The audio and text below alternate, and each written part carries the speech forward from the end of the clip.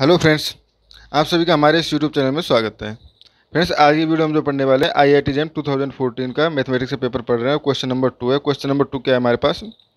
The coefficient of x minus one का square इसका coefficient in the Taylor series expression of f x बराबर x e x इस function का Taylor Taylor series expression करें, तब coefficient of x minus one का square इसका जो एक्स माइनस वन है, इसका स्क्वायर इसका जो कोफिशेंट टू होगा, वो क्या होगा? अबाउट द पॉइंट एक्स बराबर वन एक्स बराबर वन के करस्पॉन्डिंग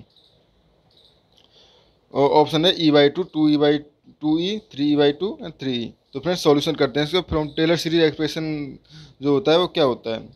नियर कोई पॉइंट है एक्स बराबर ए उस पॉइंट के करस्पॉन्डिंग जो नियर पॉइंट है एक्स बराबर ए उसके लिए टेलर सीरीज़ एक्सप्रेशन क्या होता है? एफ़ एक्स बराबर f a plus f dash a x minus a plus f double dash a upon two x minus a square तो ए बराबर क्या है? हमारे पास फ्रेंड्स, यहाँ पे वन है। तो ए बराबर यानी कि हमारे पास f double dash a upon two चाहिए हमें। यानी कि एफ़ एक्स माइनस वन का होल स्क्वायर इसका कोफिशेंट चाहिए तो हमें f double dash a by two निकालना है। अगर ये वैल्यू निकाल देते हैं तो यही हमारे पास सॉल्यूशन होगा। तो पहले हम क्या करते हैं? एफ़ एक्स का टू टाइम डिफ्रेंशिएट करते हैं। तो एफ़ एक्स का डिफ्रेंशिएट किया। तो एफ़ एक्स का डिफ्रेंशिएट किया तो u dot v rule rule से किया हमने। तो एक्स को छोड़ा।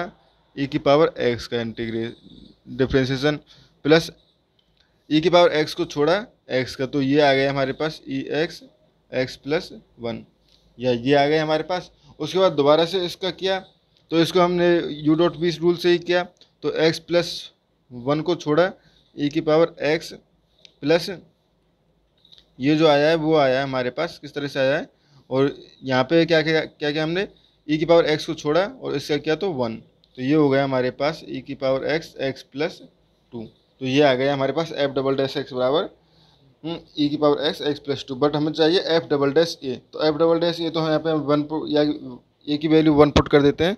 तो ए की वैल्यू वन पुट करने पे आ जाएगा हमारे पास ई वन यानी ई की power one x plus one यानी कि थ्री ई तो यहाँ से एफ़ डबल डैश वन आ जाएगा हमारे पास थ्री ई बट हमें चाहिए f double dash a by two तो f double dash one by two तो ये आ गया थ्री ई बाई टू तो यहाँ से हमारे पास ये जो इसका कोफिशेंट है, वो थ्री ई बाई टू आ गया। तो फ्रेंड्स इस तरह से ये हमारे पास इसका सॉल्यूशन आ गया। Thank you friends